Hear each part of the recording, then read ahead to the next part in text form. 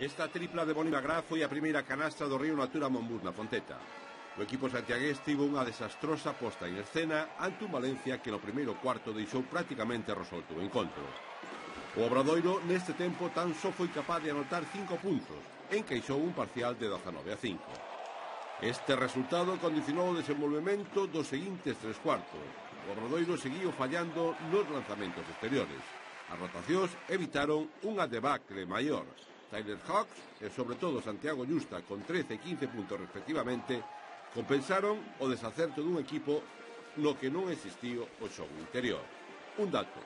Os catro pivos, Triguero, Justoboi, Caloiaro e Chagoyen lanzaron sete veces a canastra, co resultado de oito puntos. No Valencia, Sigma e Justin Hamilton, 16 para un total de 27. O Obradoiro entrou no derradeiro cuarto perdendo de 20, diferenza que alo menos conseguiu que non fora maior. O final 76 a 56. A Fonteta é unha cancha maldita para os santiagueses.